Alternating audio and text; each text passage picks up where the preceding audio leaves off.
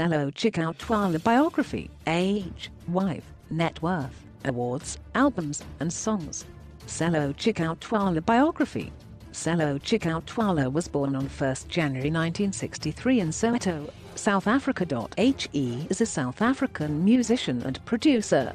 Twala was born in Soweto, Johannesburg. He attended Bopasanatia High School. His first triple platinum release was in 1987 and was a record with We Miss You Manelo which was a reference to Nelson Mandela who was still a prisoner on Robben Island at this time. Education background and career. He attended Bopasanatia High School. He released his first triple platinum in 1987 which included the song We Miss You Manelo, a reference to Nelson Mandela who was still a prisoner on Robben Island at the time. The song Too Late for Mama produced by Twala and sung by Brenda Fassie, also achieved platinum status.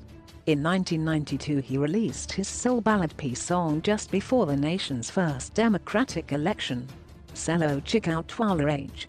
He was born on 1 January 1963. He is 55 years old as of 2018. Sello Chicco Twala wife, the Sunday World reports that musician and business tycoon Chicco Twala is accusing his ex-wife Thembi of cheating on him while they were married. He says he saw his wife enter a house with two white men and leave much later in a skimpy miniskirt. Chicco was so embarrassed that he chose not to include this juicy bit of info in his divorce decree. One day, he says, he arrived home in the wee hours of the morning from a business meeting and found that Thembi was not in the house. He soon received confirmation of her cheating ways when he followed her and the two white men to a private residence in Hyde Park.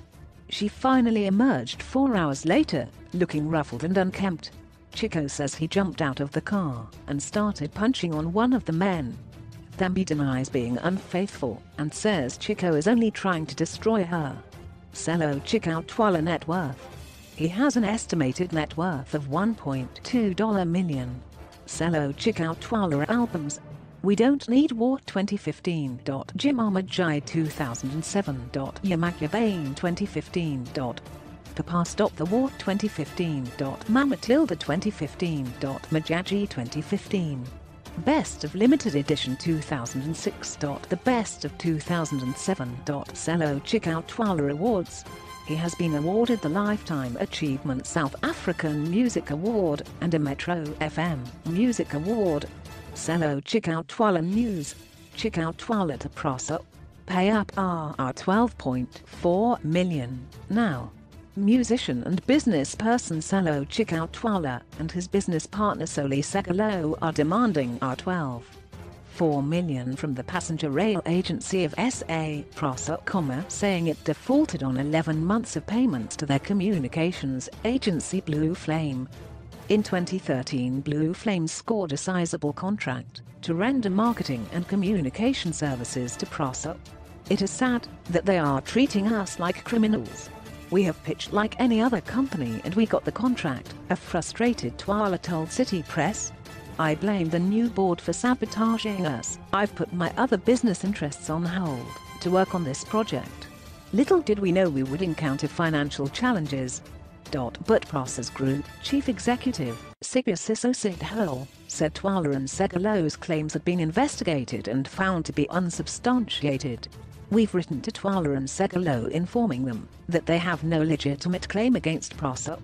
This has been confirmed by an independent legal opinion that we sought and both parties are free to take civil action against us. On Thursday Sithole admitted the organization, which has been in the headlines for allegations of corruption and state capture, is struggling to survive and is in a broken state. He blamed poor governance, corruption and leadership instability but Twala's having none of it. They should have told us from the beginning they were bleeding instead of trying to get away with not paying us, quote, he said. Four months ago attorneys Ahmad and Van Schalk served a letter of demand to PRASA on behalf of Blue Flame. Segalo said PRASA ignored it. The veteran music producer claimed that in May this year PRASA's corporate secretary, Lindikaya Zide, agreed to pay the money, but Sithole allegedly made an unreasonable request via an email from an assistant that Blue Flame give PRASA R1. 8 million discount on the R12.4 million. City Press has seen the emails between Blue Flame and PRASA. PRASA did not respond to queries about the emails. Both Twala and Segallo said they rejected the offer because they felt bullied by the state-owned enterprise. In the past 11 months we've been sent from pillar to posting a pattern that has resembled what could be deemed as bullying and sabotage. Our payment has still not been processed for reasons that have nothing to do with us, Segallo said. Months ago they requested intervention from Transport Minister Blade Nzimande and he allegedly assigned his special advisor Nkambika Candela to intervene. Twala and Segallo said they met in Candela and he told them he was promised by Zaid that they would be paid on or before May 15. But that did not happen. City Press has seen messages from Candela stating that he had cleared with Zaid that Blue Flame would be paid in May. On Friday Candela admitted to City Press that because of his access to the minister this matter was escalated to him. In this case the matter was sent to PRASA, reviewed and feedback was given directly to the people concerned, and as far as I know the matter is closed, quote Candela said.